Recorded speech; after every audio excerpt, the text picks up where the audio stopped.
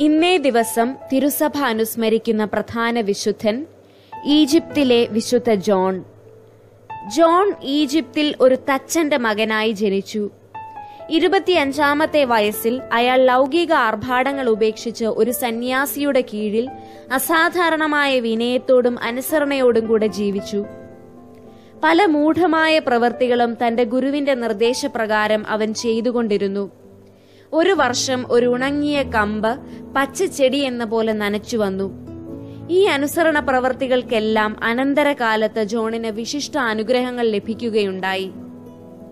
നാൽപ്പത് വയസ്സുള്ളപ്പോൾ ലിക്കോപോളീസിൽ ഒരു ഉയർന്ന പാറയുടെ മുകളിൽ കയറി ഒരു കൊച്ചു അറ അദ്ദേഹത്തിന്റെ താമസത്തിനായി തിരിച്ചെടുത്തു.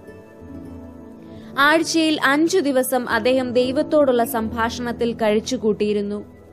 ശനിയും ഞായറും പുരുഷന്മാർക്ക് ആധ്യാത്മിക ഉപദേശങ്ങൾ നൽകി വന്നു. സൂര്യാസ്തമനം വരെ ഒന്നും ഭക്ഷിച്ചിരുന്നില്ല. അതിനുശേഷമാണെങ്കിലും വളരെ കുറച്ചു മാത്രം. ഇങ്ങനെ നാൽപ്പത്തി രണ്ടാമത്തെ വയസ്സ് മുതൽ തൊണ്ണൂറാമത്തെ വയസ്സ് വരെ ജീവിച്ചു. അദ്ദേഹത്തെ സന്ദർശിക്കാൻ വന്നിരുന്നവർക്ക് താമസിക്കാൻ ഒരു ആശുപത്രി അദ്ദേഹം പണിയിച്ചു.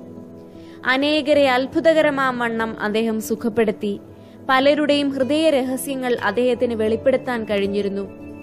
സ്വേച്ഛാധിപതിയായ മാക്സിമസിനെ രക്തം ചിന്താതെ തെയോഡോഷ്യസ് ചക്രവർത്തി പരാജയപ്പെടുത്തുമെന്ന് അദ്ദേഹം പ്രവചിച്ചു.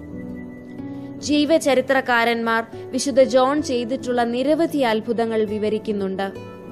ദൈവത്തെ സ്നേഹിക്കുന്നവർക്ക് അത്ഭുത പ്രവർത്തന വരം സിദ്ധിക്കുക അസാധാരണമല്ല. കരിസ്മാറ്റിക് ചിന്തകൾ അവകാശപ്പെടുന്നത് അതാണല്ലോ വിചിന്തനം.